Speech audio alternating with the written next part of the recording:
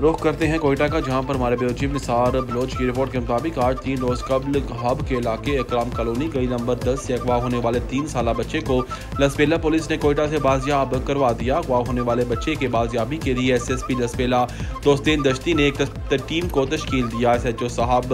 सदर शाहनवाज मेंगल ने कोयटा में पुलिस टीम के हमला छापा मार कर अगवा होने वाले बच्चे को बाजियाब करवा कर मुलिम को गिरफ्तार कर लिया